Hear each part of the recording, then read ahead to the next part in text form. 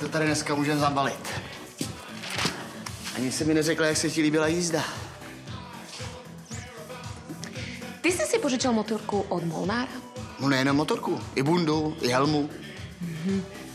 Mne sem potom prišla vynadať Molnárova, že si obkročmo sadám za jej muže.